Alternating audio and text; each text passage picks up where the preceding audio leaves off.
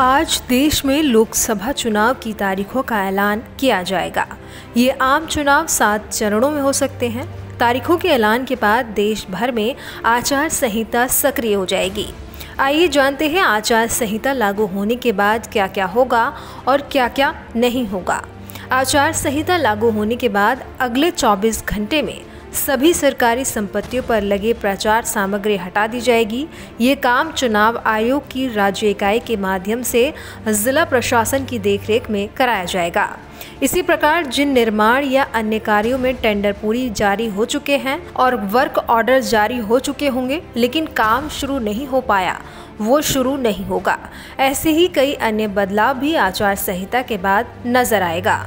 सभी सरकारी संपत्तियों से 24 घंटे के अंदर समस्त प्रचार सामग्री, पोस्टर, बैनर, पंपलेट हटाए जाएँगे। सरकारी कार्यालयों, सभागारों, अधिकारियों के कक्षों में लगी सभी जीवित राजनेताओं की फ़ोटो भी हटेगी केवल राष्ट्रपति, राज्यपाल की फ़ोटो लगी रह सकती है।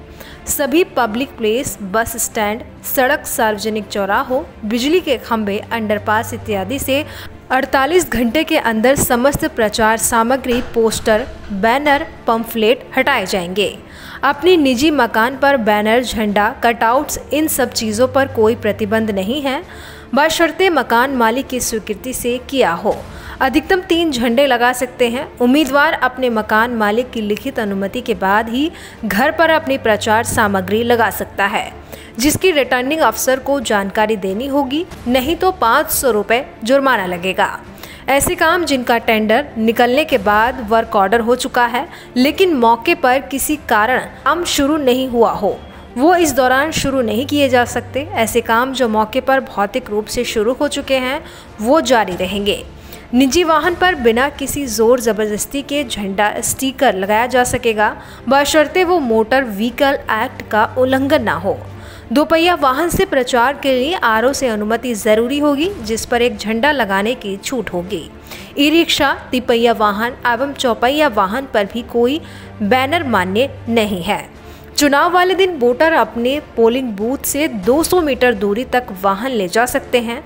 पोलिंग बूथ के 100 मीटर की दूरी में निर्वाचन संबंधी अधिकारी कर्मचारियों को छोड़कर अन्य सभी व्यक्तियों का मोबाइल फ़ोन का इस्तेमाल पर भी मनाही है। किसी भी रैली या जनसभा में उम्मीदवार द्वारा टोपी, मुखोटा, स्काफ आदि बांटा जा सकता है, जिसको उम्मीदवार के खर्चे में जोड़ा जाएगा। परंतु साड़ी, धोती, शर्ट आदि बांटे नहीं जा सकते। इसी प्रकार देवी देवताओं के फ़ोटो वाले स्टिकर, डायरी, कैलेंडर आदि बांटा जाना प्रतिबंधित है। ऐसा किया जाना धारा 171 बी आईपीसी के तहत मतदाता को रिश्वत लेने की श्रेणी में आता है। तो ये रही आचार संहिता की संबंधित कुछ जानकारियाँ। उम्मीद करते हैं आपको अच्छा लगा होगा।